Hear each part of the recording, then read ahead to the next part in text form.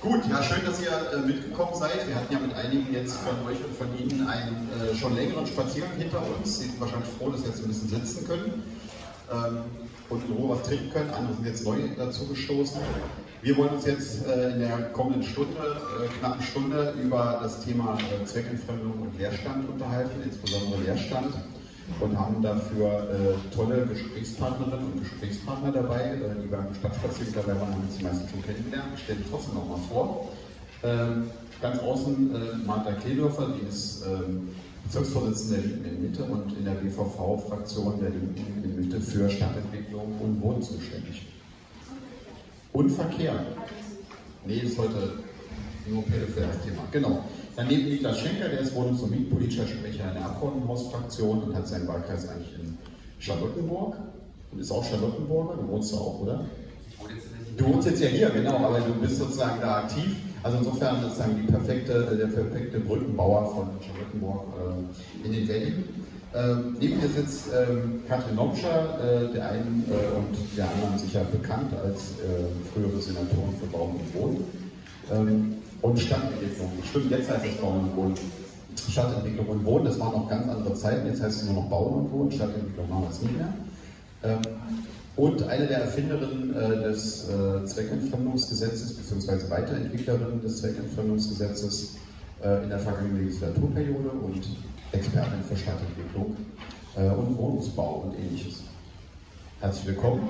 Und äh, ganz außen äh, sitzt äh, Daniel Diekmann äh, vom Mieterbeirat der Habersatzstraße und langjähriger Aktivist äh, im Bereich Stadtentwicklung. Wohnen, nicht so sehr bauen, ne? du bist schon eher Wohnen und genau, das, das Bauthema, das Bauthema lassen wir noch ein bisschen raus. Ich weiß nicht, was jetzt stört. Was stört. Vielleicht geht es gleich wieder. Nee, hier stört nicht. Genau, herzlich willkommen äh, euch allen. Ich werde euch gleich am Anfang sozusagen ein, eine Runde äh, spezifische Fragen stellen, jeweils zu äh, den Arbeitsfeldern, die ihr so habt. Und dann gehen wir hier äh, ganz schnell in die äh, Runde mit den äh, Menschen aus dem Publikum.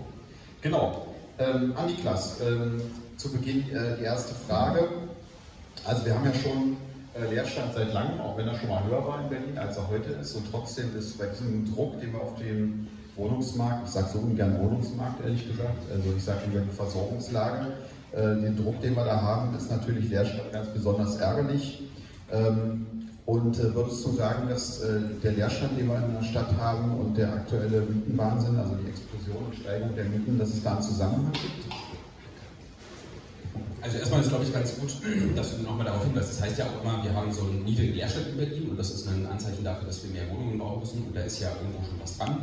Man sich anschaut, dass irgendwie so zu Anfang der 2000er Jahre ja eine sehr hohe Leerstandsquote in Berlin war im Vergleich zu jetzt ähm, und dass man deswegen sagen kann, es ist jetzt kein äh, großflächiges Problem in Berlin, dass wir massenweise Leerstand haben. Und trotzdem ist es so, dass hier in Wedding haben wir heute, bei der Tour kennengelernt, aber auch in vielen anderen, ich würde sagen vor allem Innenstadtbezirken, äh, wir immer wieder ganz viele Fälle von diesem besonders spekulativen Leerstand haben. Also wo Nachbarn und Nachbarn und Kiezinitiativen wissen, da würde eine Wohnung nach der anderen leergezogen und da gibt es irgendwie ein Interesse von einem Eigentümer, der das ganze Haus am liebsten leerziehen möchte, häufig auch mit dem äh, Ziel, das vielleicht später abreißen zu wollen, um da äh, teure neue Wohnungen reinzubauen.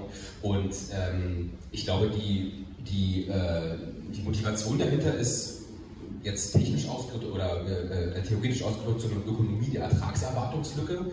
Also zu sagen, wenn ich eine relativ geringe ähm, Bestandsmiete habe, dort Mieter Mieter noch drin wohnen und ich darauf spekuliere, dass ich zum Beispiel, wenn da leergezogen ist und ich einfach sehr teuer wiedervermiete oder aber sehr teuer modernisiere oder aber sogar äh, das Haus komplett abreiße und irgendwie das Wegentfernungsverbotsgesetz, äh, sperriger Name, aber wirksames Gesetz eigentlich, wenn ich es irgendwie umgehen kann, dann kann ich eben auch eine deutlich teure Miete, die dann irgendwie nicht mehr bei 4 oder 5 Euro im Stand, sondern vielleicht bei 12, 13, 14, 15 Euro oder sowas in der Richtung liegt. Also insofern mh, sind gerade diese Fälle von spekulativen Leerstand, davon gibt es wirklich eine ganze Reihe in Berlin, äh, die auch immer mit sehr wilden Geschichten verbunden sind, wie wir ja heute gesehen haben, ähm, sind die doch immer so einer eindeutigen Motivation tatsächlich einfach zuzuordnen.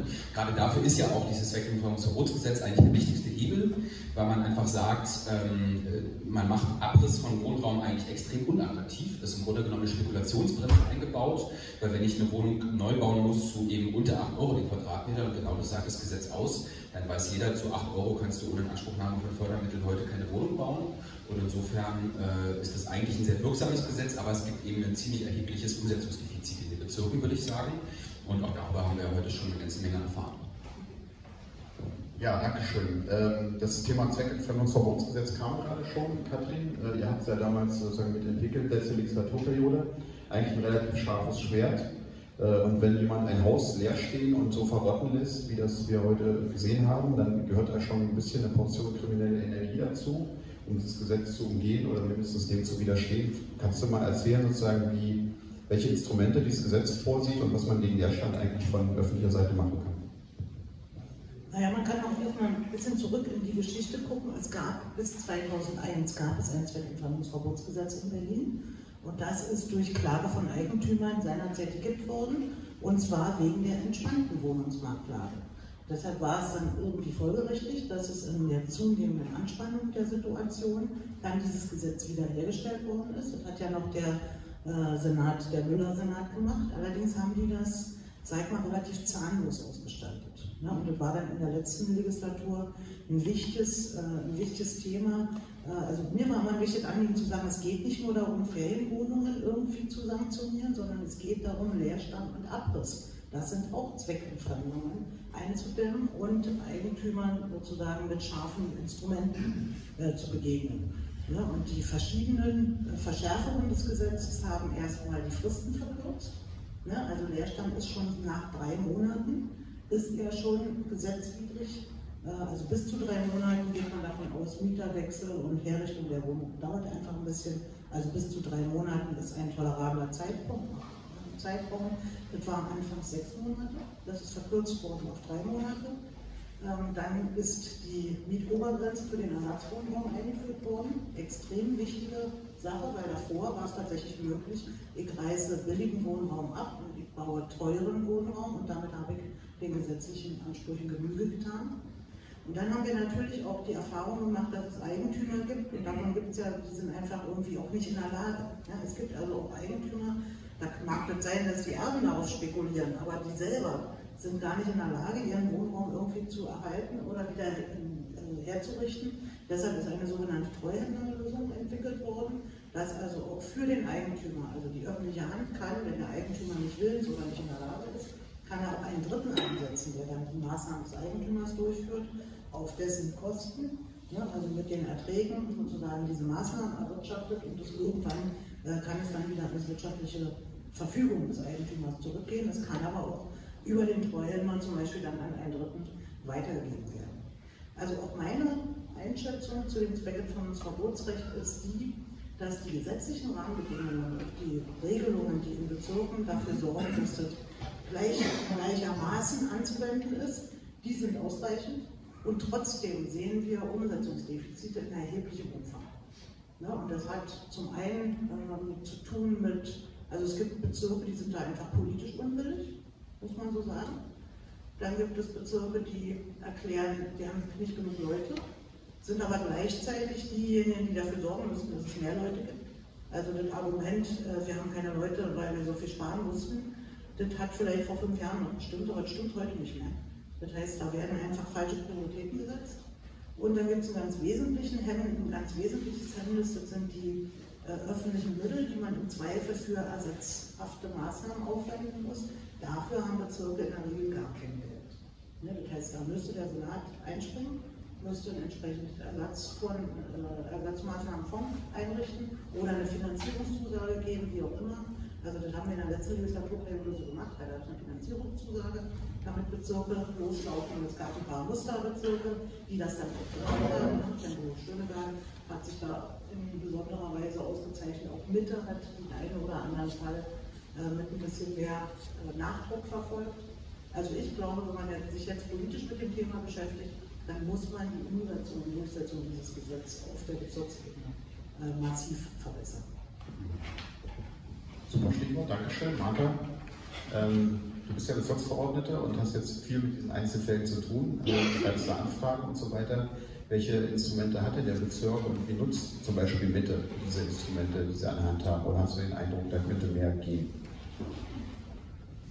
Genau, es wurde mir jetzt schon ein paar Dinge dazu gesagt. Also im Bezirk, äh, eigentliche, das eigentliche Problem ist, dass das, dass das Bezirksamt oft äh, gar nicht erst auf die Idee kommt, wo ist denn eigentlich Leerstand. Also ich glaube, das ist der erste Punkt, dass wir eigentlich, eigentlich das Bezirksamt dazu bekommen müssten. Das ist jetzt gerade unser Versuch, äh, tatsächlich proaktiv zu gucken, wo ist denn eigentlich Leerstand, wo stehen Wohnungen leer oder wo, stehen, wo sind Wohnungen eigentlich Ferienwohnungen, obwohl sie das nicht sein sollten. So, das ist der erste Punkt. Der zweite Punkt ist, dass dann eigentlich ähm, das Bezirksamt ähm, in unserem Fall hier in Mitte, ich weiß nicht, wie es in anderen Bezirken ist, wie in Charlottenburg, Wilmersdorf, was in den letzten Jahren auch so, sehr lange prüft, was ist da eigentlich los. Dann dauert das irgendwie ein halbes Jahr oder auch länger. Ähm, das ist eigentlich auch schon sehr ärgerlich. Ähm, aber eigentlich hätte das Bezirksamt die Möglichkeit, ähm, da Bußgelder dafür zu verteilen, wenn Wohnungen leer stehen. Also das ist eine Ordnungswidrigkeit und da können Bußgelder von bis zu einer halben Million Euro verteilt werden.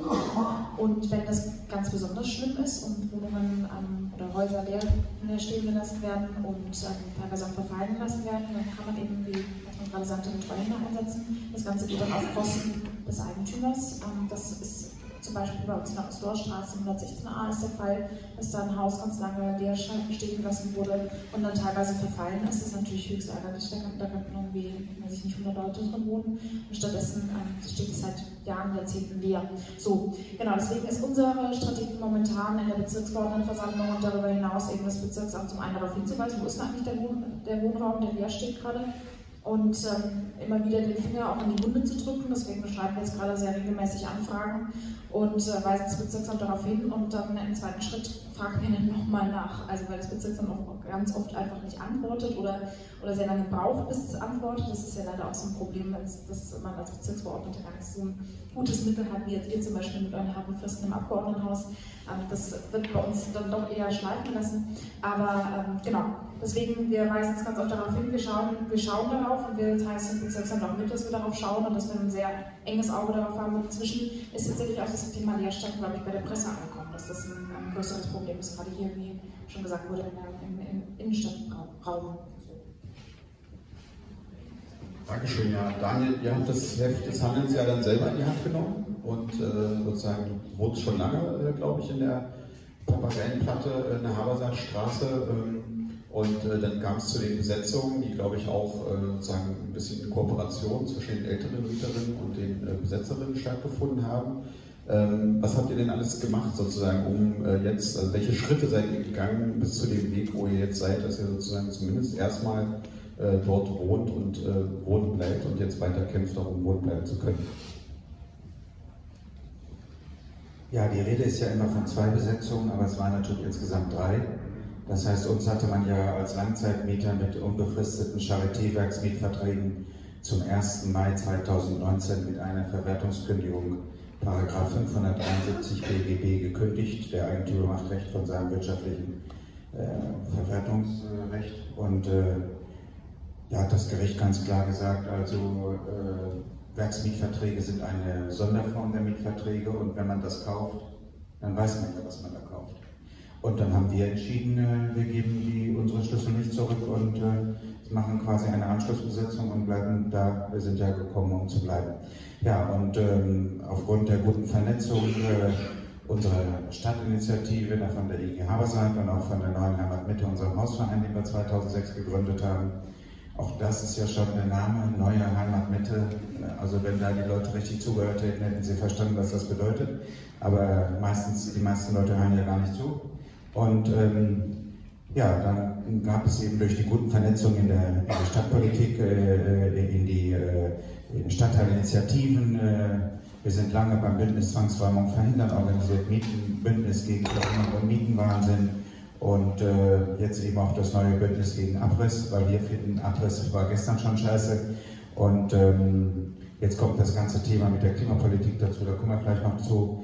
Aber ähm, dann gab es eben die, äh, dieses, diese Idee, ob man eben ähm, da dann äh, den Leerstand äh, von 85 Wohnungen, die also zweckentfremdet über das Bezirksamt, über die damalige Stadträtin äh, entsprechend dann gerichtsfest bescheidet waren und ähm, ob man das nicht irgendwie wieder beleben kann. Und äh, ich bin ja als Mieterbeirat Sprecher für die Langzeitmieter, die da äh, als die längste wohnte 38 Jahre. Und ähm, die haben gesagt, naja, alles ist besser als Leerstand. Und äh, das ist ja auch besser für uns, äh, weil das einfach auch irgendwann so eine Art, ich will nicht sagen gruselig, aber es ist schon eine komische Situation. Also wenn du dann irgendwie in so einem Aufgang mit 24 Wohnungen bist du nur noch mit fünf Menschen. Als ich da eingezogen bin, Mitte der 2000er, ich wohne jetzt fast 20 Jahre, ähm, da waren dann noch diese äh, Austausch, äh, äh, asiatischen Austauschärzte und Krankenschwestern aus DDR-Zeiten, die dann noch Verträge hatten, äh, Familie Sau, Dr. Hu und Dr. Schau und so. Und das war natürlich sehr bunt und sehr lebendig und äh, äh, manchmal haben wir uns, hat es uns natürlich genervt, wenn das so ein bisschen nach den Reiskochern roch, aber dann war es natürlich irgendwann so tot, dass dann eben die Nachbarn nach und nach verdrängt wurden, also mit den abenteuerlichsten Methoden und äh, ja, deswegen ist alles besser als Leerstand, weil Häuser sind zum Wohnen da und nicht zum Spekulieren und äh, äh wie, wie kann das eigentlich sein, dass äh, völlig äh, energetisch saniert Wohnraum, der möbliert ist, der also auch schon einmal komplett instand gesetzt ist, ähm, ich will es nicht verschweigen, unsere Wasserleitungen sind scheiße, also da hat damals schon die BWL nichts gemacht und äh, auch die Charité Facility Management und deswegen haben sie es wahrscheinlich auch zum Schleuderpreis von 2 Millionen da verhökert äh, 2005. Aber was ich nicht verhehlen möchte, ist, äh, es gab damals einen tollen Finanzsenator, der hieß äh, Thilo Sarrazin, der eine oder andere kann sich vielleicht an ihn noch erinnern, und der hat uns ganz klar gesagt, also Sie müssen sich keine Sorgen machen, für Sie ändert sich gar nichts, denn Kauf bricht Miete nicht. Ja, er hat recht gehabt, es hat sich alles geändert. Also äh, seit 15 Jahren sind wir im Dauerstress und äh, wo man eigentlich sagt, naja, bei dem einen oder anderen Verkaufsrecht, das ist vielleicht ein Sprint oder ein Marathon. Ich mache jetzt gerade meinen dritten Ironman auf Abersat und äh, so viel erstmal dazu. Ja, danke schön. Also der Bezirk spielt ja eine größere Rolle auch in eurer äh, Geschichte. Ne? Äh, sozusagen, wo es ja um die Frage ging, wer kommt da rein, äh, gibt es der Abrissantrag, über den haben wir vorhin schon gesprochen, wird dem stattgegeben oder nicht, äh, welcher schmutzige Deal findet da möglicherweise statt oder auch weniger schmutziger, aber Deal auf jeden Fall. Ähm, was erwartest du denn vom Bezirk jetzt in Zukunft sozusagen, wie der Bezirk sich weiter verhält? Ja, also wir haben natürlich jetzt ganz klare Forderungen. Es sind ja unglaublich viele positive Dinge in den letzten Tagen oder Wochen passiert.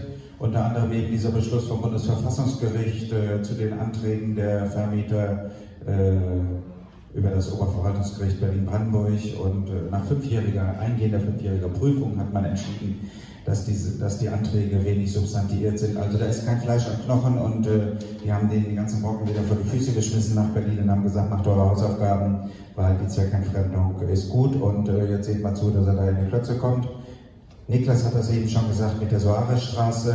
Unser, unsere Eigentümergesellschaft, die Arcadia Estate, äh, hat ja so eine Anklatschungsklage, äh, Editionsklage heißt das, damit gemacht und äh, hat natürlich jetzt also dringend gehofft, äh, dass eben dieses Verfahren jetzt äh, weiter, dass es da endlich ein Urteil gibt, also um die Sache mal klar zu machen. Das Urteil sollte am 14. Oktober gefällt werden, dann am 15., dann im November, dann im Januar, dann im März, dann im Mai. Also es wurde immer wieder verschoben, dann kam das Baulandmobilisierungsgesetz, was auch wohl noch positiv irgendwie in die Zweckentfremdung reinspielt. Ja, und äh, jetzt fällt die ganze Chose aus. Und äh, was macht jetzt der Bezirk? Der Bezirk setzt natürlich die Langzeitmieter unter Druck und äh, hat sich jetzt erklärt, dass eben auch die äh, neuen Bewohner, die eben als obdachlosen Menschen dort keine Bleibeperspektive haben sollten. Da war ja von Anfang an die Rede von, äh, nach der äh, zweiten Besetzung durch die Aktivisten war klar, also äh, die Leute brauchen auch eine Bleibeperspektive, damit sie eben äh, dann auch entsprechend äh, irgendwie zur Ruhe kommen können. Und da hat jetzt der Bezirksbürgermeister von Dassel ganz klar einen Rückzieher gemacht und meint eben, er könnte aufgrund der ganzen rechtlichen Lage und wie die Situation jetzt eben aussieht, dann den Eigentümer nicht weiter unter Druck setzen. Wir haben da ganz klare Forderungen. Wir sagen also aufgrund dieser ganzen rechtlichen Situation, die jetzt in den letzten 14 Tagen sich noch dramatisch gewandelt hat, muss das Bezirksamt sofort einschreiten. Also 85 ähm, Wohnungen, wir haben es eben schon gehört, 500.000 Euro Strafe macht 42,5 Millionen. Und äh, als, äh, als, äh, als äh, äh, Vorstand der, der Neuen Heimat Mitte sage ich ganz klar, wir fordern sofortige Beugehaft gegen äh, den Geschäftsführer Dr. Andreas Pichotta. Den würde ich erstmal von den 42,5 Millionen, 20 Millionen Kaufpreis abziehen. Dann wollen wir nicht so sein, zweieinhalb Millionen nochmal Entschädigung und dann, dann schuldet er der Bezirk 20 Millionen Euro. Das ist aber sofort fälligzustellen, weil dieser einstweilige vorläufige Rechtsschutz, der ist nämlich gar nicht mehr gegeben jetzt, weil die Voraussetzungen gar nicht mehr stimmen. Und äh, dementsprechend musste ja jetzt auch endlich der Bezirk mal in die Puschen kommen und in die Pötte kommen und jetzt das auch mal umsetzen und sagen, so, jetzt haben wir, habt ihr uns jahrelang an der Nase rumgeführt und jetzt ist mal Feierabend hier mit, mit diesen ganzen Klimmzügen, denn jetzt muss es ja irgendwie auch weitergehen. Deswegen heißt das ja Stadtentwicklung. Das heißt ja nicht Stadtbremse oder Stadtrückwärts äh, gewandt, sondern äh, Stadtentwicklung und da haben wir ganz klare Forderungen, weil das ja so nicht weitergehen kann.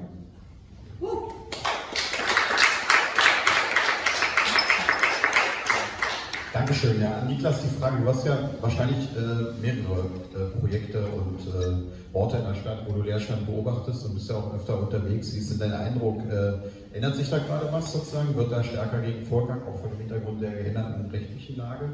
Ähm, und was äh, habt ihr im Abgeordnetenhaus vor, da vielleicht nochmal äh, eine Gesetzesänderung zu machen oder ähnliches, einfach eine Verschärfung vorzunehmen? Also ich glaube, es ist wirklich nochmal einfach ein Problem, ähm, was schon so ein bisschen punktuell einfach nochmal besonders stark auftritt. Also es gibt einfach die meisten äh, Abrisse im Bezirk Mitte und die zweitmeisten im Bezirk Charlottenmummersdorf. Ähm, und Charlottenmummersdorf ist tatsächlich der Bezirk, der diese 7,92 Euro Regel äh, pro Quadratmeter, also Ersatzwohnraum, der einigermaßen bezahlbar ist, nicht ein einziges Mal bisher umgesetzt hat. Ähm, das hat jetzt nochmal eine schriftliche Anfrage von mir ergeben vor ein paar Wochen, obwohl äh, also in hunderten Fällen äh, Wohnungen abgerissen wurden. Und ähm, ich meine, um nochmal dieses Umsetzungsdefizit einfach auf Bezirksebene so ein bisschen deutlich zu machen, es gibt auf Bezirksebene sogenannte, also die Bau- und Wohnungsaufsicht und da gibt es das Wohnungsaufsichtsgesetz und es gibt das Verkehrsverbotsgesetz und das führt dazu, dass das eine bei einem Stadtrat liegt und das andere bei einem anderen Stadtrat. Und äh, da gab es den einen Fall, Wimmersdorfer Straße 82, 83, ein Haus, was zehn Jahre lang leer stand. Die Spuren zu den Eigentümern waren nicht so richtig aufzufinden. Irgendwann so nach Moskau und dann hat sich die Spur verloren. Und äh, da hat es dazu geführt, dass der Bezirk die ganze Zeit sich überlegt hat, äh, welche Abteilung jetzt dafür zuständig wäre, mal was gegen den Leerstand zu tun. Weil das Wohnungsaufsichtsgesetz soll quasi nicht mehr bewohnbare Wohnungen wieder Wohnzwecken äh, insofern zuführen, dass dann sozusagen also das wieder den Wohnstandard erfüllt und wenn es dann Leerstand ist, dann kann die Zweckentführung äh, starten. Und da haben sich also die beiden Abteilungen zwei Jahre lang Briefe geschrieben, obwohl die also auf der gleichen Etage sozusagen quasi gegenüber und haben sich gegenseitig zwei Jahre lang Briefe geschrieben, dass die jeweils andere Abteilung zuständig wäre. Irgendwann hat der Bezirk äh, ist ja auf die gute Idee gekommen, das einfach mal durch den durch durch SNSW damals noch klären zu lassen. Und äh, ZSW hat entschieden, also beide Abteilungen können jetzt mal was machen, Hauptsache eine müsste mal was machen. Ähm, und das hat aber so lange dazu geführt, dass also dreimal der Eigentümer wieder gewechselt hat und jetzt wird tatsächlich abgerissen und da kommt ein großer Bürohochhaus äh, hin. Also das sind so die Geschichten, wenn wir über Umsetzungsdefizit, glaube ich, in den Bezirken sprechen. Und davon gibt es dann schon einfach auch eine Menge. Mm, und äh, die, also eine Menge, weil jeder Einzelfall, glaube ich, äh, häufig eben so eine wirklich, äh, ich habe es ja gerade schon gesagt, wilde Geschichte und auch gerade die Habersackstraße ist ja wirklich einfach das Symbol, glaube ich, in Berlin für spekulativen Leerstand. Äh, also seit so unglaublich langer Zeit so viele Wohnungen, die teilweise beziehungswertig, da sind ja ähm, jetzt bei der Besetzung war ich dann auch in dem Haus ähm, äh, und da waren ja einfach die Wohnungen quasi eingerichtet. So. Und das sieht ja teilweise aus, als wenn die Leute vom Küchentisch weggerissen wurden, ähm, mit noch irgendwie Geschirr, was auch, also unglaublich. Ähm, und ich glaube, was wir, also deswegen ich zwei Sachen, die jetzt wirklich wichtig sind. Auf der einen Seite sich dieses Umsetzungsdefizit nochmal anzuschauen in den Bezirken. Da muss man einfach sagen, äh, dass es schon auch häufig daran liegt, dass äh, CDU-Stadträte dafür zuständig sind. Also gerade in Stuttgart-Hummersdorf ist so ein Fall oder auch in anderen äh, Bezirken ist es in der Tat so, dass man das schon, würde ich sagen, danach nachweisen kann. Dann haben wir, glaube ich, ein Problem auf Personalebene, was durchaus auch ein fachliches ist. Also äh, es gibt nur in wenigen Bezirken, äh, weil diese beiden Dinge eben doch relativ nah zusammenliegen, äh, Wohnungsaufsichtsgesetz und so, ich sag mal, sind baurechtliche Fragen und ähm, dann so die reine Zweckentfremdung.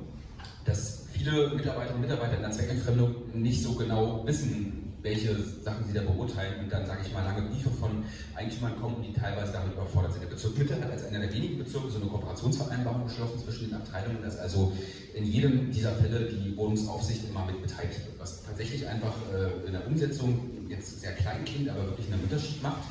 Und uns hat es jetzt nochmal dazu ähm, angespornt, und dafür haben wir uns auch lange in den Koalitionsverhandlungen eingesetzt, dass wir nach dem Vorbild von Hamburg und anderen äh, Bundesländern diese beiden äh, Gesetzesbereiche vereinen wollen zu einem Wohnungsschutzgesetz. Also Zweckentfremdung und Wohnungsaufsicht macht ein neues Gesetz, wo wir uns erstens nochmal anschauen wollen, also anhand von diesen Umsetzungsdefiziten in Bezirken, wo liegen da jetzt so die Lücken.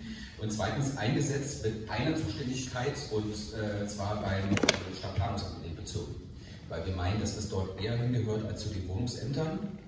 Und insofern ist das jetzt nochmal äh, was, was wir an, uns angucken wollen. Wir machen da Ende August ein Fachgespräch, auch auf Abgeordnetenhausebene und wollen dann nochmal nicht nur mit, also mit vielen Aktivisten und Aktivisten ins Gespräch kommen, aber auch der Mieterverein hat jetzt, jetzt letztens nochmal einen Vorschlag gemacht, an welcher Stelle Sie meinen, dass man das Gesetz nochmal anpassen müsste. Also ich glaube, da ist äh, Bewegung drin und äh, wir wollen das auf jeden Fall äh, wirklich verbessern, weil wir einfach merken, dass das in vielen Bezirken ein richtiges Problem ist ähm, und einfach auch eine Verwertungsstrategie von Vermieterinnen und Vermietern. Und wenn die, sage ich mal, Bezirken gegenüberstehen, äh, wo sie eher nicht das Gefühl haben, dass sie jetzt äh, David gegen Goliath sind, sondern umgekehrt, dann ist das ein Problem. Das bitte kann. Also, ich habe ja jetzt damit nichts mehr zu tun, aber wenn ihr das jetzt im Ernst äh, in Richtung Stadtplanung ansiedeln wollt, da hätte ich jetzt äh, Schwierigkeiten mit. Äh, weil ich glaube, was man tun muss, und vielleicht kann man das angenehme mit nützlichen verbinden, man muss natürlich das, was Wohnungsämter sind in den Bezirken, die muss man natürlich sowohl personell als auch fachlich stärken. Ja, also auch hier hilft ein Blick in die Geschichte. Diese Wohnungsämter sind ja gar keine eigenen Ämter, sondern sie sind Fachbereiche in einem anderen Amt. Und sie sind deshalb äh, keine eigenen Ämter, weil ganz lange gab es ja gar keine Wohnberechtigungsstellen in Berlin. Ja, ganz lange gab es ja gar keine Wohnraumförderung. Und deshalb haben die Wohnungsämter tendenziell an Bedeutung verloren. Und erst durch dieses Zweckentfremdungsverbotsgesetz haben sie wieder so eine richtige eigenständige Aufgabe. Ne? Und die zweite oder die zwei weiteren Aufgaben, die wir haben, Belegungsbindungen kontrollieren, Wohngeld. Das sind natürlich extrem wichtige Dinge, die man im Rahmen der sozialen Wohnraumversorgung auch stärken muss. Also deshalb finde ich, sollte man eher darüber nachdenken, ob man die Fachbereiche Stadtplanung, Wohnungsaufsicht und Wohnungsamt zusammentut in ein Amt und nicht das Wohnungsamt sozusagen jetzt da irgendwie gar nicht mehr mit Zweckentfremdung beschäftigt. Also das, da hätte ich Schwierigkeiten, mir das vorzustellen. Und als ich jetzt auch mal das Gesetz gelesen habe im Vorfeld dieser Veranstaltung, ja, da ist mir aufgefallen, dass, äh, dass eine Regelung fehlt in diesem Gesetz. Es, der, der Eigentümer ist nicht verpflichtet, Leerstand mitzuteilen sondern er ist erst nach drei Monaten verpflichtet, mitzuteilen, dass es jetzt länger als drei Monate steht. Das ist natürlich irgendwie doof, weil dann weißt du gar nicht, wann er anfangen. Also das wäre zum Beispiel eine Überlegung wert, äh, ob man tatsächlich so eine Anzeigepflicht macht und schon die Tatsache, dass man den Leerstand nicht mitteilt, wäre dann schon eine Ordnungswidrigkeit. Ja, ich auch nochmal die Frage, was Transparenz angeht. Wir hatten das ja vorhin, dass man äh, sozusagen anders als in anderen Ländern im Ausland äh, Deutschland in der Regel nicht weiß, wie Immobilien gehören. Und deswegen natürlich auch die Frage Nachverfolgung von Gesetzeswidrigkeiten und gesetzwidrigem Handeln sozusagen sich häufig schwierig darstellt. Und ein paar der Geschichten, die wir hier hatten, hängen auch damit zusammen, dass man die äh, Eigentümer gar nicht zu fassen bekommt. Äh, wie sind denn deine Vorschläge für sowas? Ja, meine Behörden dürfen natürlich ins Grundbuch gucken und die können ins automatisierte Liegenschaftskataster gucken, da steht dann auch irgendwas drin. Aber häufig steht da irgendwas drin, irgend so ein Behälter, irgend so eine GWR, weiß der Fuchs irgendwas. Und die dann nachzuvollziehen in ihren jeweiligen Firmen, Geflechten und die wirtschaftlich Berechtigten zu finden, ist also selbst für Behörden schwierig. Na, abgesehen davon, dass es öffentlich einsehbar hat in den Registern natürlich sowieso nicht gibt. Deshalb wäre hier der Punkt, es gibt ja einen Koalitionsvertrag auf Bundesebene, gibt es ja irgendwie so eine Immobilientransparenz. Pipapo, haben sie sich ja auch irgendwas reingeschrieben. Also dass man äh, hier mal auf Bund-Länder-Ebene, und da könnte die Linke Berlin natürlich sozusagen auch in Richtung Bundestagsfraktion äh, sozusagen mal sondieren. Hat denn die Bundestagsfraktion da schon irgendwie einen Plan, wie sie diese Initiative des Bundes weiter bearbeiten will?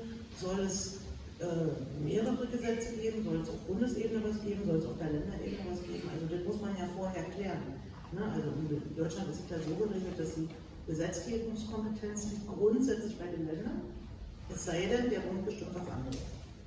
Ne? Also es wäre an der Stelle also wichtig herauszufinden, was plant denn der Bund und wie sortiert sich das, was man in Berlin machen will, ein oder prescht man in Berlin vor, um mit so einem Transparenzgesetz. Also ich würde extrem begrüßen, wenn wir dann Schritt weiterkommen, weil dieser Zustand, der sich in Deutschland entwickelt hat, der hat ja dazu geführt, dass äh, Deutschland quasi das Eldorado sämtlicher Geldwäsche geworden ist, äh, weil der Immobilienmarkt in Deutschland ist, glaube ich, der unregulierteste in Europa.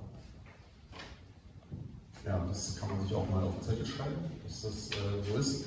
Martha, unser Bezirk, ähm, hat, äh, wie wir schon gehört haben, durchaus ein paar Fortschritte gemacht. Dass jetzt Abteilungen miteinander Kooperationsvereinbarungen schließen in Verwaltung, finde ich gesagt einen ziemlich schrägen Vorgang. Ähm, aber gut, war offenbar notwendig.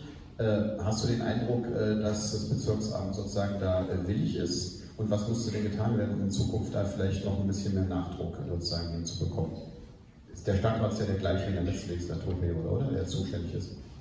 Also beim, beim, beim Wohnen meine ich und Stadtentwicklung sozusagen. Genau, der, der Stadtrat Wohnen ist ja der Efraim Rote von der SPD und wir haben in der vergangenen Legislatur eine Stadträtin, die war zuständig für, für Zweckentfremdung, so. Das war die Ramona Reiser und davor ähm, jemand anderes. Ja, davor, der war schon mal. Obermeier. Ja, Sandra Obermeier war davor, genau. Und das ist jetzt bei uns dieses Mal ähm, mit dem Legislaturwechsel gab es auch ein bisschen noch Blockade im Bezirksamt und dann sollte es eigentlich zuerst zur CDU gehen. Dann haben wir gesagt, das wollen wir auf gar keinen Fall, könnt ihr das irgendwie ändern, könnt ihr das irgendwie abbinden. Daraufhin hat es dann der Bezirksbürgermeister zu sich gezogen, wo ich erstmal dachte, das ist ja gut schon mal, dass es nicht bei der CDU landet. Leider ist äh, von Dassel überhaupt nicht davon überzeugt, dass man irgendwas tun könnte. Also ähm, der, der, hat einfach, der hat offensichtlich gar kein Interesse daran, irgendwas zu ändern an der Situation. Was jetzt gerade im Moment so weit geht, dass wir noch nicht mal einen Ausschuss haben, in dem das Thema Zweckentfremdung behandelt wird. Von daher weigert sich nämlich in den eigentlich zuständigen Ausschuss zu kommen. Und ähm, genau, es, es, gibt noch nicht mal einen Ausschuss, wo, wo das ähm, angesiedelt ist. Deswegen wir momentan einfach immer unseren Weg über Anfragen, entweder in der BVV-Sitzung selbst oder eben schriftliche Anfragen gehen, die dann in der Regel nicht beantwortet werden. Das also muss man tatsächlich so sagen. Das ist also Stichwort Transparenz gibt es da auch einfach nicht. Stichwort Transparenz muss man auch noch sagen, dass wir jetzt in der BVV einen Antrag äh, durchgebracht haben, erfolgreich, dass nämlich Zweckentfremdung auch transparent gemacht werden muss, weil wir gesagt haben, das ist eigentlich für die Anwohnerinnen total scheiße, wenn sie genau wissen, da gegenüber stehen x Wohnungen leer und wir wissen eigentlich gar nicht, was los ist. So, das ähm, ist jetzt geglückt in der Bezirksverordnetenversammlung. Das dauert jetzt vermutlich wieder vier Jahre, bis sich das Bezirksverordnet überlegt, was es da eigentlich genau draus machen. Ich werde schon wieder zynisch. Ne? ja, aber es ist also genau, zumindest schon mal ein Fortschritt, dass wir wissen, dass wir dann wissen hoffentlich, ähm, warum steht denn da eigentlich äh, was leer oder warum, ähm, warum werden diese Wohnungen nicht wieder vermietet. Also manchmal hat es ja auch einen Grund, manchmal gibt es ja, also es gibt ja auch logische Gründe, selten, aber sie gibt es.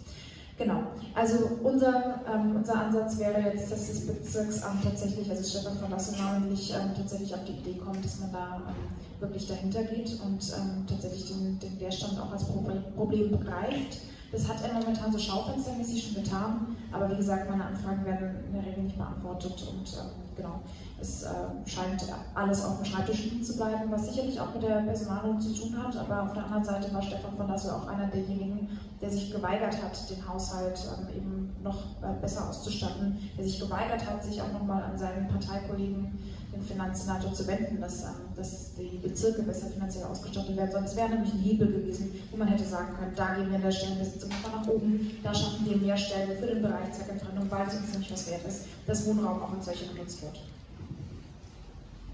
Dankeschön, ja. Es war auch ein guter Hinweis darauf, dass jeder von euch und Ihnen auch was machen kann. Also wenn ihr irgendwo äh, Zweckentfremdung von Wohnraum und auch Leerstand feststellt, äh, dann oder zum Beispiel die mögliche Vermietung, obwohl sie nicht genehmigt ist, kann man durchaus mal äh, einen Hinweis geben an das Bezirksamt und kann da mal nachfragen, ob zum Beispiel Leerstand eben, wenn das gerade länger als drei Monate sind, ob der genehmigt ist oder nicht. Äh, und dann prüfen die das auch. Und wir haben sozusagen allein hier in Kiez, wo jetzt unser Wahlkreisbüro ist, das Sprengbüro, äh, diverse Fälle schon gehabt, wo Wohnungen leer stehen oder illegal umgebaut worden sind oder ähnliches wo uns einfach Anwohnerinnen und Anwohner mal einen Tipp gegeben haben und wir dann auch mal recherchieren konnten und nachgefragt haben beim Bezirk. Also es kann sozusagen durchaus jeder und jeder was tun. So, jetzt würde ich es mal in die Runde geben. Wer möchte denn äh, hier Fragen stellen oder was sagen zu dem Thema? Oder ja, bitteschön. Genau.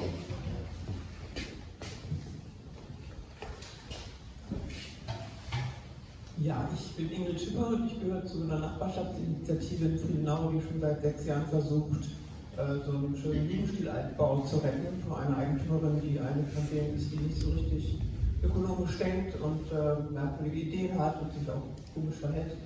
Ähm, das ist der Ausgangspunkt gewesen und da sind wir auch immer noch dran und drängen das Bezirksamt und die kommen jetzt so ein bisschen langsam in die Gänge, aber bis zum Treueeinsatz, der uns vorschwebt, äh, denke ich, wird das noch endlos lange dauern und das Haus wird nicht besser durch diese Zeiten, die da vergehen. Und wir haben uns aber auch eben um andere Lehrstände dann gekümmert, gerade in Zeiten der Pandemie, als man viel Zeit hatte, dem Fahrrad rumzufahren und haben eine Liste erstellt von fast 30, nee, äh, fast 80 sogenannten, wir nennen sie so Problemimmobilien, die nicht unbedingt, das ist nicht mal ganz geklärt, aus spekulativen Gründen hergestanden haben, sondern auch weil da irgendwelche Eigentümer merkwürdig verhalten oder Erbstreitigkeiten oder andere Gründe, die nicht unbedingt spekulativ sind, äh, vorliegen.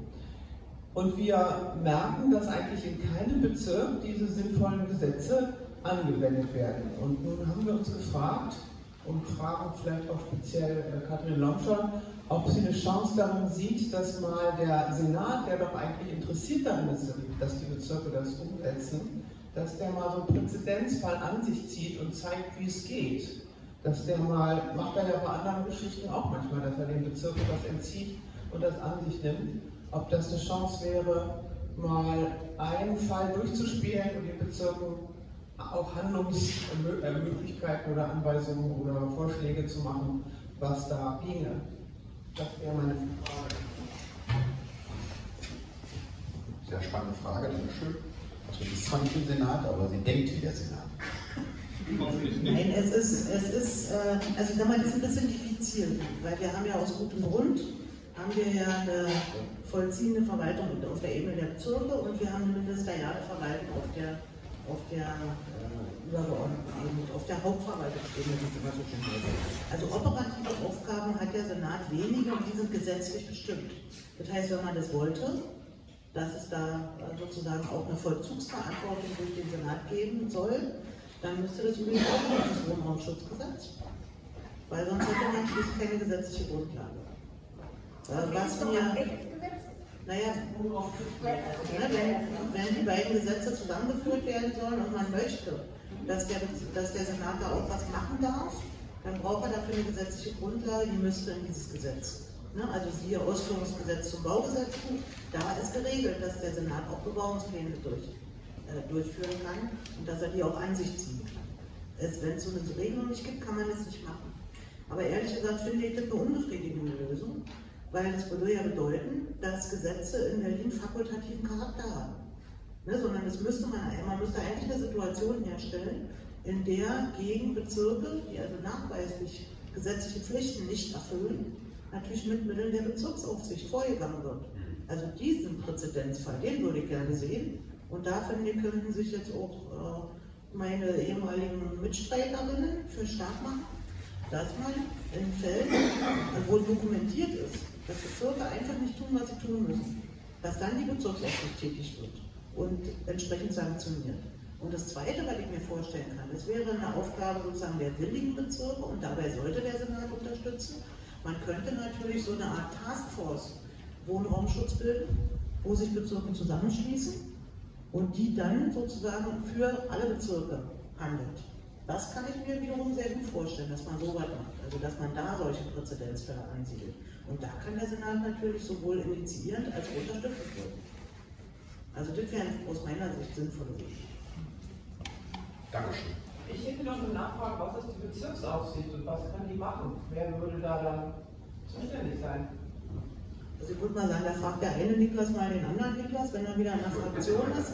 Also die Bezirksaufsicht ist beim Innensenat angesiedelt und da gibt es im Verwaltungs-, äh, Bezirksverwaltungsgesetz gibt es Paragraph 13 Schießen wo drin steht, was der Senat machen kann, wenn Bezirke nicht so tun, wie sie gesetzlich verpflichtet sind.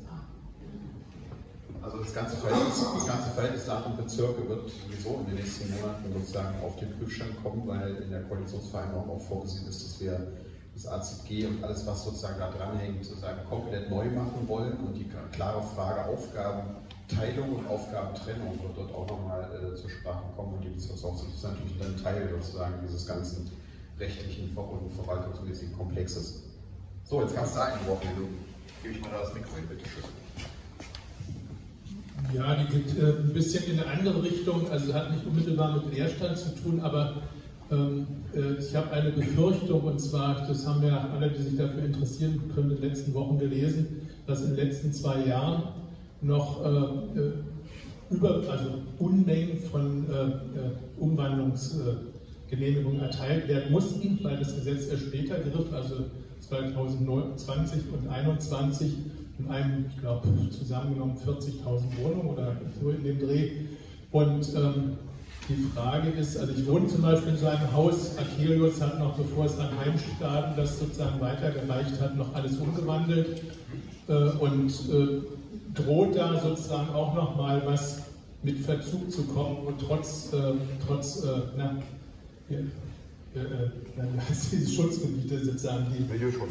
trotz Milieuschutz sozusagen irgendwann, ich glaube, da läuft ja eine Frist auch aus und das würde ich gerne in diesen ganzen Wohnaspekt mit reinnehmen. Also so das nach, nachrangig ist ja, also jetzt ist Leerstand dran, interessiert mich ja auch sehr, weil ich befürchte, dass vielleicht dann ein anderes Bömmchen, was da schon äh, am, am, die Zündschnur am Zündeln ist, äh, auch noch hochgehen wird.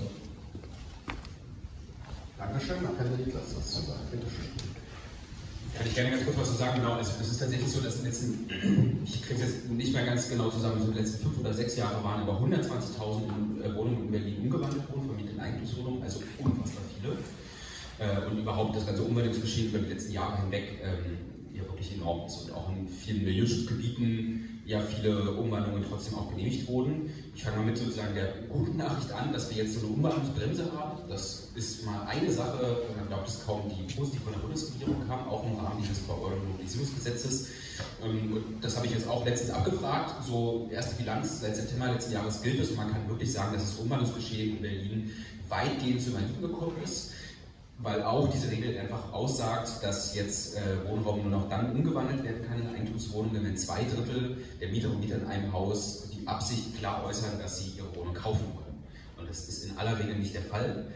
Wir haben auf Bundesebene immer kritisiert, das ist eigentlich nicht weitgehend genug, weil wenn es dann die zwei Drittel gibt, dann sind die ein Drittel der Mieterinnen so richtig angearscht, ehrlich gesagt, und dann ist es noch ein Verdrängungsmotor. Aber ich glaube, in der Praxis wird sich auch in Berlin darstellen, dass diese zwei Drittel Regelung schon ganz gut ist und dass man einfach auch wirklich in Bezirken sieht, die immer Hotspots waren, Wohnungen waren und in Eigentumswohnungen, dass das einfach wirklich, wie gesagt, weit zu hingekommen ist. Ich glaube, die schlechte Nachricht ist eindeutig, wenn so viele Wohnungen in Eigentumswohnungen umgewandelt worden sind, dass für eine ganze Reihe, und das wird uns in den nächsten drei, vier, fünf Jahren, glaube ich, begleiten, Einbedarfsvergütungen ausgestellt werden. Das wird nicht überall der Fall sein, äh, nicht in diesen 120.000 Wohnungen, aber ich glaube, so eine Welle der Verdrängung, die infolge von diesen Eigenbedarfskündigungen kommt, die wird auf uns zurollen. Und da können wir auch tatsächlich als Berlin nichts machen, weil einfach Eigenbedarfskündigung auch wieder eine Tatsache wäre, wo die Bundesregierung ran müsste. Insofern glaube ich, ähm, mindestens das auf dem Schirm haben, das möglichst frühzeitig äh, adressieren und dann Möglichkeit schaffen, dass man anderen Wohnraum äh, findet. Aber das ist auf jeden Fall eines der vielen ungelösten Probleme, wo die Bundesregierung tatsächlich braucht. Ich kann mal kurz dazu ergänzen. Also weil du das jetzt gerade so sagst. Also ich habe ja gesagt, ich wohne jetzt in einem Heimstaat vor Achilles Haus. Ich weiß ja nicht, wie viele Wohnungen Achilles noch umgewandelt hat. Und, und, wäre das denn nicht zumindest in diesem sagen wir, seligen oder auch meinethalb unseligen Bündnis, was Frau Giffey da mit äh, und Nacht auch ein Aspekt riesigen Gesellschaften abzutrotzen, dass sie eben nicht irgendwann. Also in meinem Fall müsste jetzt uns ja erstmal ein Vorkaufsrecht äh, eingeräumt werden vom Verkauf, aber das hilft ja mir und den Mietern auch nichts. Wir werden auch nichts kaufen mitten in Charlottenburg. Ähm, also das wäre das nicht auch noch irgendein Aspekt als Verhandlungsmasse einzubringen. Also die Koalition hat ja angeblich viel vor.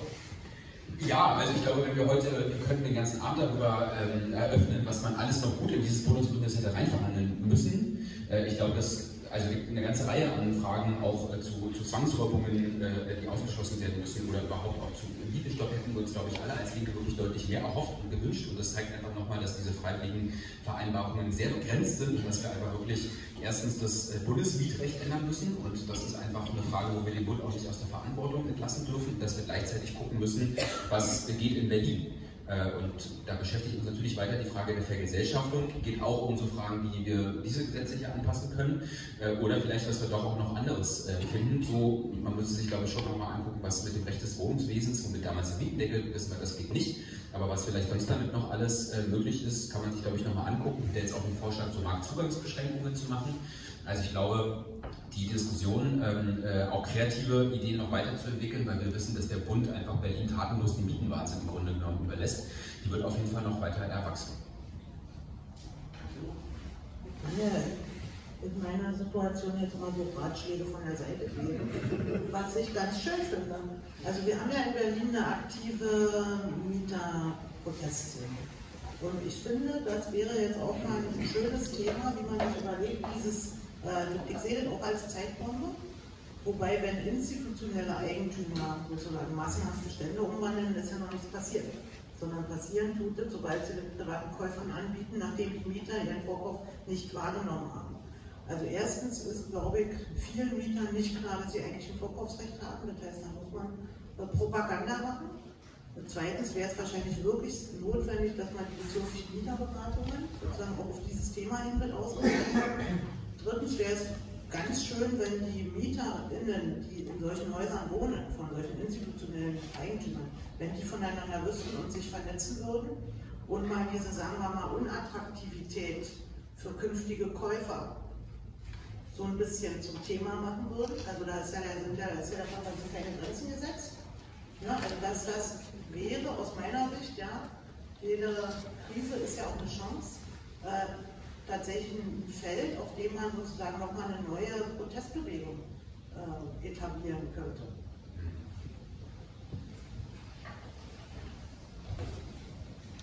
Ja, der Steffen äh, vom Mieter TV, G2P und hier Aktivisten natürlich in der Stadt überall unterwegs.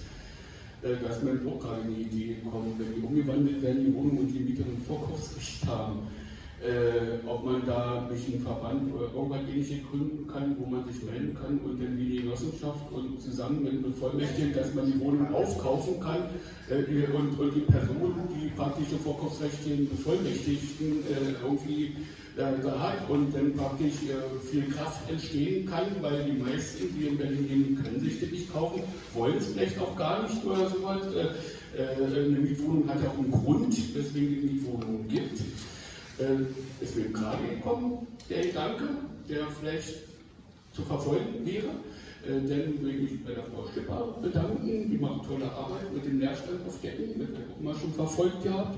Und hier mit dem Beschlagnahmen ist ja alles möglich, weil RBB hat mal darüber berichtet gehabt, hier auch Gammelhäuser, aber die lange leer stehen, dass der Bezirk oder die Stadt eben wirklich Tatsache beschlagnahmen kann, wie vorhin auch schon erwähnt worden ist. Wird bloß viel zu wenig gemacht irgendwo und unter Zwangsverwaltung gestellt werden. Äh, mich stört es auch, dass wenn jetzt so eine Fälle sind wie Zweckentfremdung, dass dann die Eigentümerin klagen kann und solange der Gerichtsprozess läuft, der über ein Jahrzehnt oder länger laufen kann, äh, die Buden weiter leer stehen. Ähm, und hier, dass, ob man da irgendwas machen kann, dass man als Stadt trotzdem beschlagnahmen kann und dann kann er klagen, wie er will. Äh, dass man handelt, weil wir haben ja Wohnraummangel und wenn jetzt zum Beispiel 18 Jahre Bauten wie Habersatzstraße abgerissen werden dürfen, ist es so ein Riesenskandal, weil dann kommen die Geldwäscher, bezahlen bis Mondpreise und sagen, es ist nicht mehr wirtschaftlich, müssen wir abreißen und dann kann man halt Berlin abgerissen werden, wo kommt man da hin? Also das kann nicht sein. Dankeschön, ja, gute Frage. Dann gucken wir da hin. Das gute Frage. So, ich bin die Nicole. Ähm, ich bin heute als Bündnis gemeinsam gegen Obdachlosigkeit hier. Und zwar ähm, am kommenden Mittwoch sollten ja die obdachlosen Menschen gezählt werden. Wir als Bündnis sagen, es sollen parallel auch mal die Leerstände in der Stadt gezählt werden, wo auch Airbnb unter Modernisierungsvorbehalt stehende Wohnungen ähm, damit drinnen stehen könnten. Und wie die Linkspartei oder der Senat das anschieben könnte, dass man eine Kooperation zwischen dem Sozialsenat und dem Bausenat machen könnte, dass die gemeinsam daran arbeiten, dass bis zur Zählung der Obdachlosen im Jahr Januar auch parallel die Ressourcen mal aufgelegt, offengelegt werden.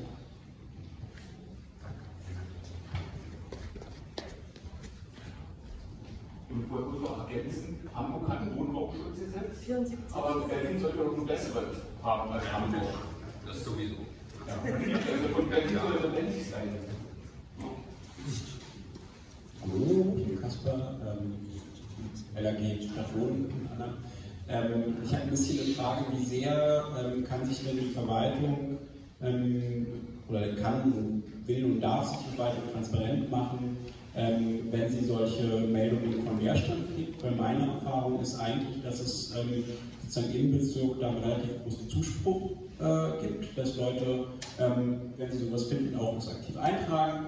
Ähm, wir hatten in Pankow ja auch den Fall, dass mit äh, Deutschen Wohnen eigenen ähm, sozusagen ganz großer Leerstand ähm, aufgedeckt und skandalisiert wurde. Nur für Bürgerinnen ist die Erfahrung natürlich erstmal, ich melde das und dann passiert da gar nichts. Ähm, wenn ich Glück habe, dann ähm, wird mir irgendwann auch mal gesagt, ja sorry, wir konnten nichts machen und so. Ähm, und ich sozusagen glaube, das ist in vielen Fällen kann man dann vielleicht auch nichts machen, außer was anschieben, aber ich frage mich dann, wie kann ich es für die Bürgerinnen irgendwie trotzdem interessanter oder mehr rewarding machen oder ihnen zumindest irgendwie dann besser darstellen, was das Problem ist, damit nachvollziehbar ist, was jetzt gerade nicht passiert. Und deswegen diese Frage, was kann, darf, will die Verwaltung da an der Stelle machen oder ist das sowieso ein interner Vorgang, äh, wo dann höchstens ein Ergebnis irgendwie beschieden werden kann?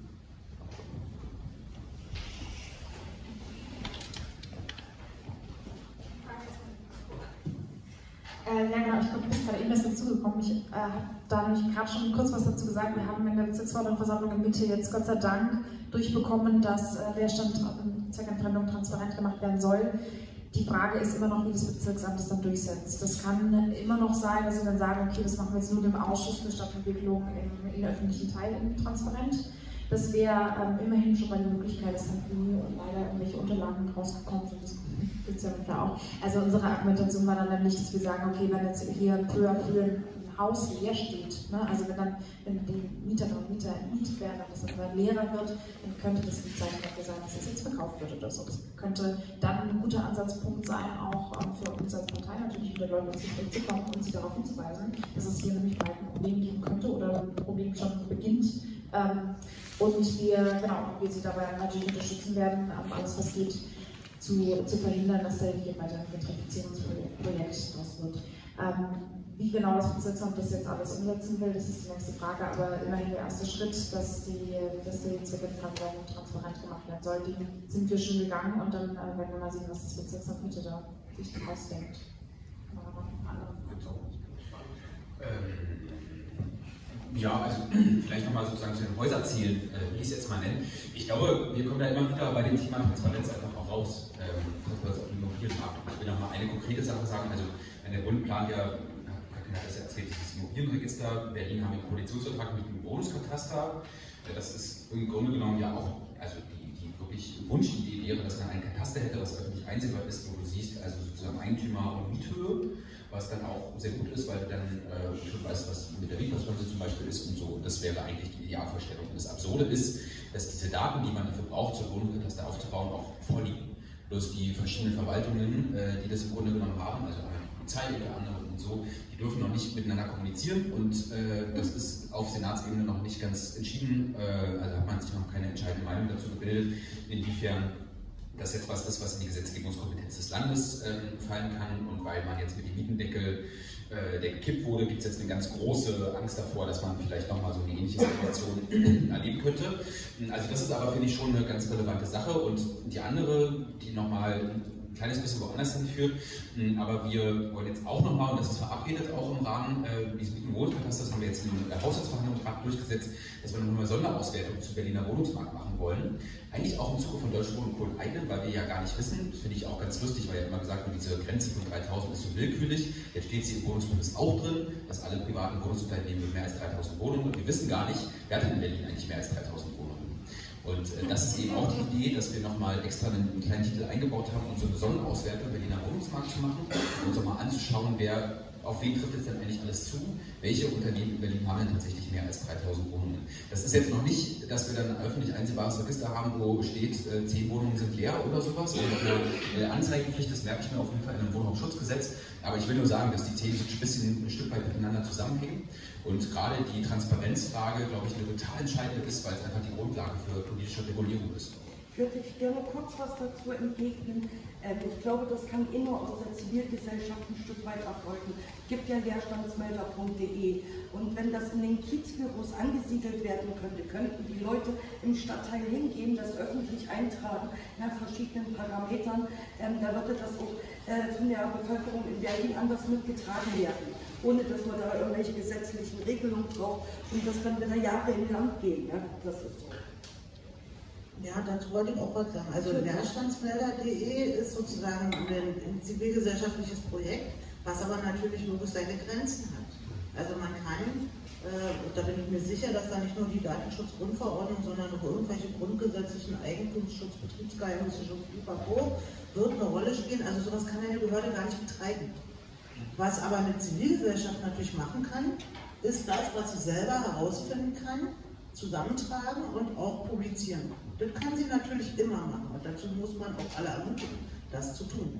Was wiederum die Behörden machen können, und dafür braucht jetzt aber auch kein Gesetz. Ne? Also es gab mal Initiativen, als ich im Bezirksamt in Lichtenberg war, da haben sich die Menschen darüber aufgeregt, dass man im Ordnungsamt irgendwie sagt, da ist Müll und da ist nicht schön und dann erfährt man gar nicht, was da los ist. Und da gab es einen Bezirksamtsbeschluss, der geregelt hat, dass alle, alle Beschwerdeführer innerhalb von x Tagen müssen eine Antwort bekommen vom Ordnungsamt, was damit passiert ist. Sowas kann man unterhalb einer gesetzlichen Regelung auf Bezirksebene äh, machen. Und das wäre vielleicht dann auch eine Anregung.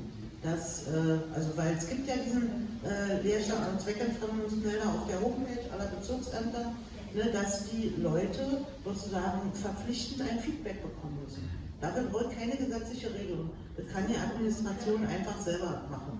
Und könnte, sie könnte dazu von der BVV aufgefordert werden.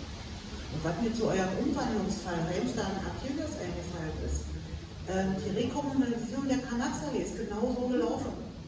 Das sind Eigentumswohnungen gewesen. Und wir haben seinerzeit dieses Riesenprojekt angeleiert, dass die GEWOBAG ähm, und es wurden auch Genossenschaftsinitiativen irgendwie versucht, die sind dann aber am Sande verlaufen, was auch immer.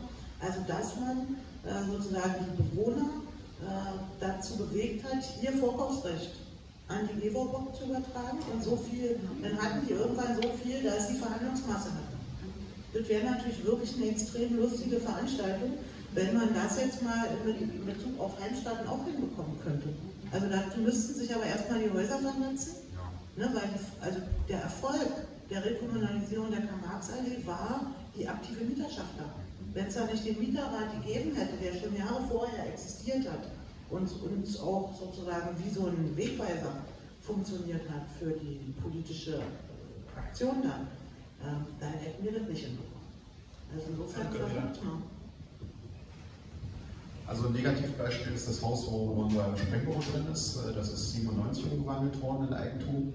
Äh, dann haben die Mieter ein Vorkaufsrecht bekommen für damals äh, pro Wohnung zwischen 40 und 60.000 D-Mark. D-Mark. Unsaniert. Hat kaum jemand gemacht. Warum die Leute 150 Mark Miete bezahlen? Warum sollen die eine Wohnung kaufen? 10% ungefähr haben damals gekauft und dann ist das durch mehrere Hände gegangen und jetzt hat Scovino als letzter Investor jetzt einzeln für 400.000 bis also 370.000 bis 450.000 Euro pro Wohnung verkauft. Gute Rendite, wenn man so äh, sich anguckt.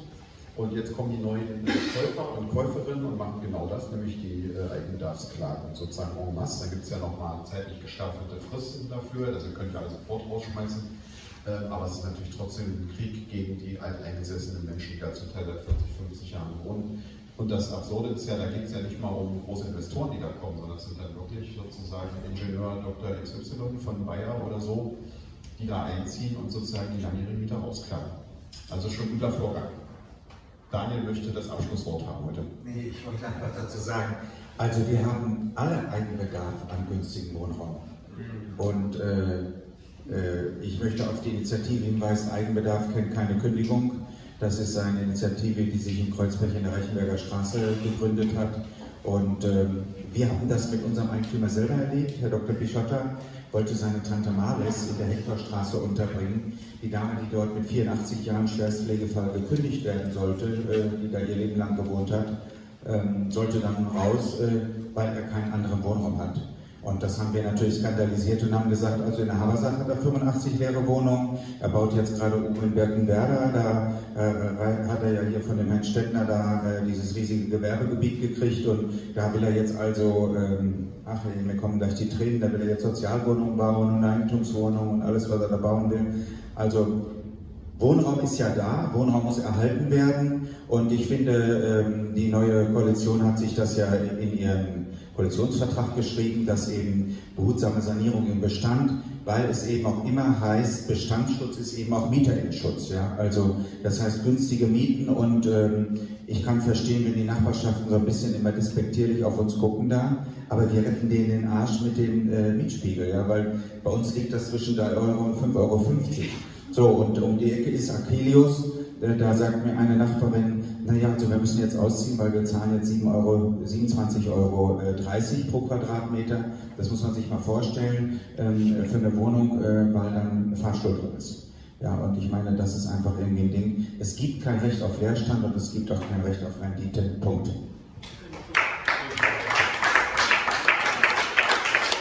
wäre jetzt beinahe Schlusswort gewesen und wir wollten auch schon Schluss machen. Du kannst ja ganz schnell noch. Ich habe nur eine kurze Frage. Okay. Weil ich bin ja betroffen davon, dass Ja. ich da quasi Wohne und vielen anderen, die äh, ja quasi noch besetzen und der Überlasser sagt ja immer, nö, er hat damit nichts zu tun, er gefällt ja und äh, schiebt das immer auf den Eigentümer quasi. Was können wir noch tun? In der Habersaatstraße. Ja.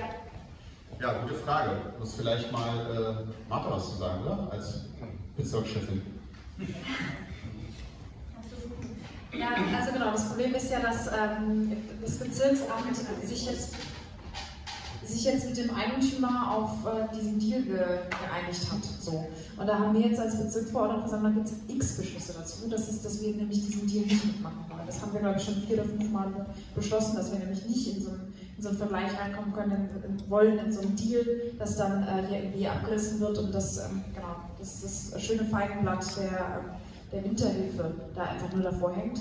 Ähm, genau, das Bezirksamt äh, macht leider dann doch, was es will. Also Stefan van Dassel ist jetzt sehr glücklich mit dem Deal, den er bekommen hat mit, ähm, mit dem Eigentümer und will den einfach, äh, will, will das jetzt durchbringen. Deswegen wird unsere Strategie jetzt sein, weiter Druck zu machen. Ähm, Katrin hat vorhin nochmal einen Vorschlag gemacht, da werde ich auf jeden Fall nochmal auf Sven Dietrich zugehen, der ähm, auch die Habersaatstraße seit vielen Jahren, Jahrzehnten betreut. Ähm, genau, wir werden auf jeden Fall weiter dranbleiben. Aber Niklas hat vielleicht noch. Also leider auch äh, relativ wenig Konkretes, aber ich kann einfach nur sagen, dass wir da weiter auch, oder sozusagen jetzt ich auch von Landesebene aus dann versuchen, irgendwie weiter mit dem äh, Bürgermeister von Stadt in Kontakt zu bleiben. Ich habe letzte Woche ein paar Mal mit Rote telefoniert. Der wollte äh, jetzt am Montag äh, mit von Lasse, der war jetzt im Urlaub nochmal darüber sprechen, dass auf jeden Fall die Abrissgenehmigung jetzt erstmal nicht erteilt wird, sondern man eben auch nochmal weiter im Gespräch dabei bleibt, dass die Duldung verlängert wird. Das ist aber leider das Problem, dass bisher ja noch nicht so ganz klar ist, die Rechtslage, ob jetzt der Eigentümer eine äh, Kündigung braucht, ob es auch im einstweiligen Verfahren geht und so weiter. Das ist noch nicht so richtig klar, wie ich jetzt bisher nur mitbekommen habe.